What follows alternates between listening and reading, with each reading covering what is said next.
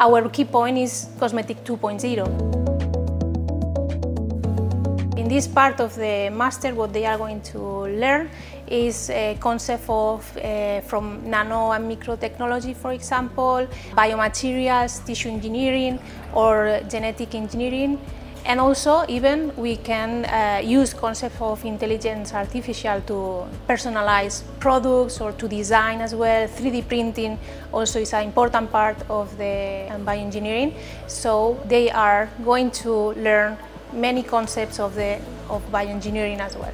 The master basically it's uh, more than the half it's uh, practical. We are also doing uh, laboratory sessions in the, the, university but also most of the hours that they are going to, to take they are going to be performed at the companies to explore their knowledge uh, from the theoretical part into these companies. Basically, to understand the difference between traditional masters with this one is that we not only are going to provide the knowledge in traditional cosmetics, which is basically the other rest of the cosmetics, but also we are introducing new technologies from engineering, material science and uh, tissue engineering that they can be applied for uh, cosmetic industry.